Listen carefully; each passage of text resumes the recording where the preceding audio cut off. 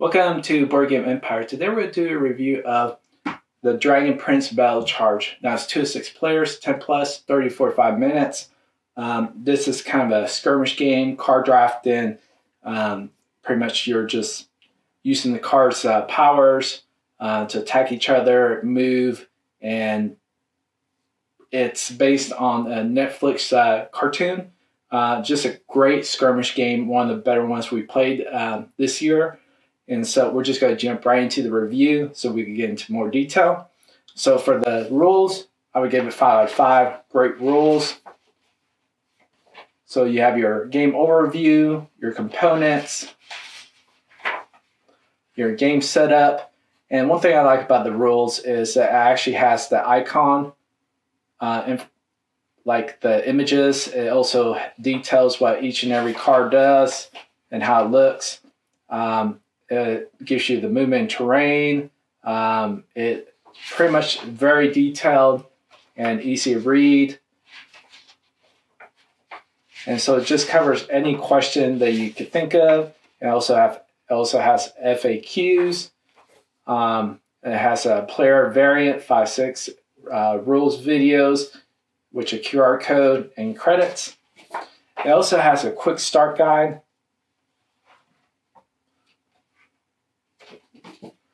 which has icon, keys, card types, uh, symbols, movement, map legends. Uh, the map legends pretty much like the white right around here and the reds on certain maps you can't see through, so you wouldn't be able to attack in those angles. You have your setup actions, energy, movement, combat, and winning. And also the cards also have information. Uh, like movement speed, which you'll be able to move three on the grid. Uh, this is the line of sight, and this is the attack. Each character has their own. Uh, so, and you have your character information. So, just uh, rules overall, five out of five. Everything's uh, great with the rules, quick start guide, and the icons on the characters. So, component quality, I would give it five out of five. Great component. The cards are actually thick. You could actually probably shuffle them, although I don't shuffle cards anymore with on board games because I just uh, from past experiences. Um, but these, I'm sure you probably could shuffle. Uh, the cardboard is nice and thick, and you get quite a few uh, different landscapes. Um, I think there's four more, but each one has their own different way of battling and uh, different things that you could do. The cards are great, like I said. Um, then you have the dice that are well designed. These are the victory tokens. Person gets three wins. Um, there's a lot more car, uh, more elements, and I just pulled this because this would be the easiest way to uh, show some of the elements. Uh, but there's a lot more stuff, cards, characters, and everything that you get with the game.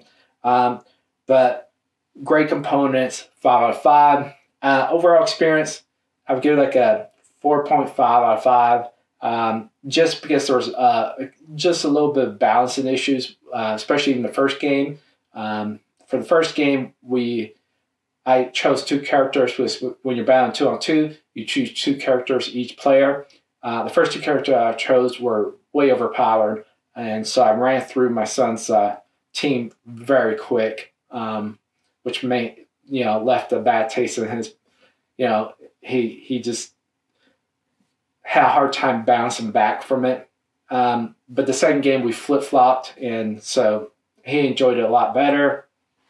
But uh, great game, um, great experience just uh, wish that uh, some of the characters are just a little bit overpowered. I can understand why because of the uh, cartoon. I'm sure that some characters are stronger and better than others, and and is probably represented also in the game, the board game, in the cards. So 4.55. Um, so mechanics, I would give it five out of five. Great mechanics. Um, so what you're doing is pretty much uh, moving your characters. Um, normally you would have two or two uh, you a lot more characters, especially as um, more players. But you move your characters on the grid determined on your player. Um, some you so you can either use uh, the player information, which is like a three move line side one and two attack, or you could use a move card. You could use either or. You can't use both. So you would use your move card, which you can move four instead of three. And then also when you attack, you could do the line side one and two attack, or you could do um, line side one to attack, line side one three attack. Um, but there's uh, technique, react, and ongoing cards. Those cards you'll be able to use um, as many times as you want. The react is you can use as many times as you want. Technique you can use as many times as you want, and those a lot of times give you health, charge, or um, extra attack or sight. Um, the here's the infinite symbol, and those pretty much stay in play until they get removed by another your opponent's card. And so, and then you just keep attacking each other, getting closer, just like um, most skirmish games. And you're using cards to, um, you know, buff up your characters, or uh, the, um, this character gets like uh, pets, kind of, and so you're able to pretty much uh, helps you in attack and movement, different other things. Um, so you win by getting three other victory tokens. Whoever gets the three victory tokens, uh, the fastest pretty much wins. Uh, so great, great mechanics. Um, can't wait until they incorporate more characters. Um, there's very little downtime in the mechanics, and so you're always playing fast because the cards are um, pretty easy to uh, determine. You, you only have a uh, certain you know hand size. Um, you draw up to seven cards, so and it's, it's just go, the game goes fairly fast. It's it says 30, 45 minutes. I would say uh, venture to probably 25 to um, 50 minutes um, because it's just it, the game could go either quick, really fast, or uh, take a while, determine on if someone's uh, playing defense and keeps back in, or if they just clash. So mechanics five out of five, uh, replayability five out of five um, because there's going to be so many um, more characters with a lot of these cartoons that can be implemented in the game. And also, as more seasons come about, uh, there'll be more characters that are, you know, introduced in the cartoon, which they'll be able to introduce in the game, and add more cars that do more, um, more variable powers and more uh, things that you could do. And hopefully, they um, build some more uh, of the landscape so replayability, five out of five. Overall total, I would give it like a four out of five, um, eight out of ten. Uh, great game. Um, really enjoyed it. It's um, from begin, middle, end. Um, the progression was good. Uh, you're just building up your cards. You're able to, you know, hold your cards more, and you're able to uh, use a lot of the cards that are infinite or stronger cards. So once you attack, you you'll definitely know that you actually beat your opponent so you can plan ahead. So that's one thing. And there's a lot of tension once you're uh, you two are getting close to clashing. So the game does a great job about you know having that tension. Um, the cards are really nice that you could uh, beef up your uh, attack and sight and movement.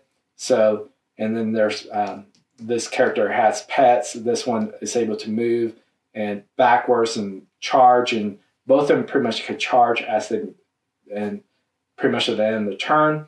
So high replayability. Um, so like I said, uh, overall total is like you know four out of five, um, eight out of ten. Uh, great game, and I can see this uh, expanding as time goes on. So if you like this video, Please like and subscribe. My social media is down below in the description. Uh, I'm going to have a link where buy the game, and I'll see you in the next video.